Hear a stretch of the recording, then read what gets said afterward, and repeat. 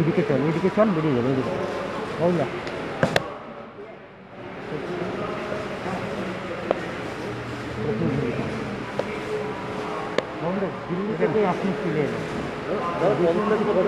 এলেন।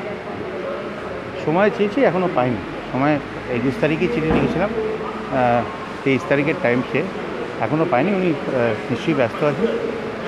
তো আমি তো আগেই যত তাড়াতাড়ি বাংলো ছেড়ে দেওয়াটাই আমার উদ্দেশ্য ছিল। তো আমি ছেড়ে দিই যখন উনি সময় দেবেন আবার যাব। আচ্ছা আচ্ছা কোনো মন্তব্য নেই কোনো মন্তব্য ধন্যবাদ আপনার বৃষ্টির মধ্যে আমি আজকে বারণ করেছিলাম যে এখানে হ্যাঁ হ্যাঁ। অবভিয়াসলি অনেকদিন আগেই চিঠি দিয়েছিলাম।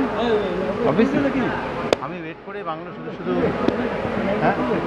থ্যাংক ইউ আর কালকে ভবানীপুরে যে ভোট কী মনে হচ্ছে? বিজেপি দাঁড়িয়েছেন ওখানকার মানুষ তো আছেন দেখুন ওই অঞ্চলে ভবানীপুরে অন্য কারোর ক্যাম্পেন করা দরকার হয় না। ওখানে যা মানুষের রায় আপনারা নিজেরাই দেখতে পাবেন। আমার বলার কি আছে? এর সম্বন্ধে কোনো মন্তব্য নেই। দেখুন, দল তো আমিও বদল করেছি। আমার যেটা মনে হয়েছে, ঠিক হয়েছে, সেটা করেছি। যা প্রশ্নের জবাব সব দিয়ে দিয়েছি। মানুষের কাজ করাটাই আসল এবং সেটা যদি আমি দিদির নেতৃত্বে যদি বাংলার জন্য করতে পারি, তাহলে সেটা যথেষ্ট ভালো হবে এবং আমার মনে হয়েছে যে সাত বছর, আট বছরের যে দিল্লির যাত্রা, সেখানে মনে হয়েছে কোথাও প্রধানমন্ত্রী বাঙালিদের উপর ভরসা করছেন না। এই সাত বছরে কোনো ক্যাবিনেট মিনিস্টার তো ছেড়েই দিন, কোনো বাংলা থেকে কোনো ইন্ডিপেন্ডেন্ট চার্জ মিনিস্টারও করা হয়নি। সেটা আমা- আমার কথা বলছি না। আলু আলিয়াজি অনেক সিনিয়র মানুষ কংগ্রেস থেকে এসছেন, তাকেও কোনো রকম ইন্ডিপেন্ডেন্ট চার্জ দেওয়া হয়নি। কোথাও মনে হচ্ছে যে বাংলা থেকে যারা নির্বাচিত হচ্ছেন, তাদের তাদের তাদের জন্যে বা তাদের ওপর কোথাও কোথাও একটা কি বলব একটা অসামঞ্জস্য আছে যেভাবে কাজ, কাজের কাউন্সিলর মিনিস্টার হয়েছে। সেটা মনে হয়েছে।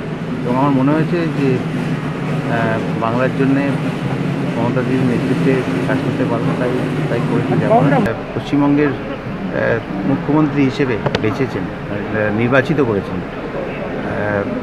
পরপর তিনবার তৃণমূল কংগ্রেস এখানে বিপুল সংখ্যাগরিষ্ঠতা পেয়েছে। কাজেই দলের পুরোধা যিনি তিনি নিজের এলাকা থেকে জিতবেন এটাই তো স্বাভাবিক ব্যাপার এবং সেটাই হবে।